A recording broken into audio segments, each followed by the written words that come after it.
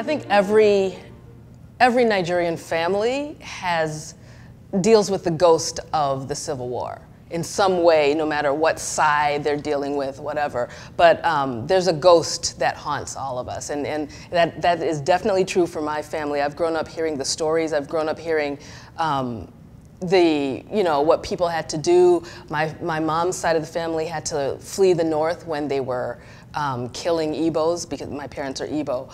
And, you know, I've grown up hearing the stories. So, and this was even before I became a writer. So when I became a writer, those stories naturally were, one, very important to me, but two, something that I wanted to explore and discuss in various ways that I wasn't able to do just as a, just as a person. So, so yeah, very much so. So Zahrah the Windseeker, um, the Shadow Speaker, and the first of the Akata books, those were all written while I was working on my master's in literature and my PhD in literature.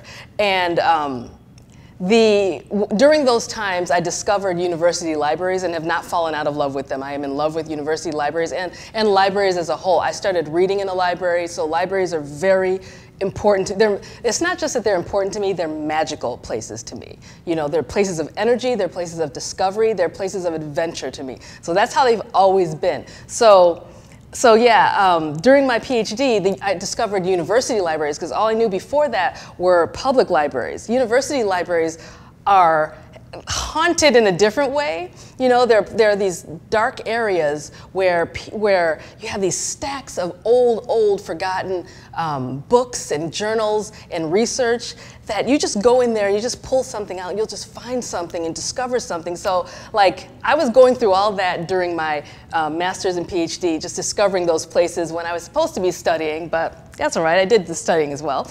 Um, and so when I, when I started writing, those naturally you know, found their way into the stories that I was that I was writing. So like Zahrah the Windseeker, there's a there's a library that was I can't even go into it, but there's a library that's grown from a plant that was struck by lightning and it's got a see-through. Yeah, there's an important library in Zahrah the Windseeker, my first book. And then in the Akata books, the library is a focal point of all of the the, um, the government and the people of power um, and leadership in this magical community. You know, and there's a reason for that. It's because of like being around libraries so much. Libraries are a very big part of my stories.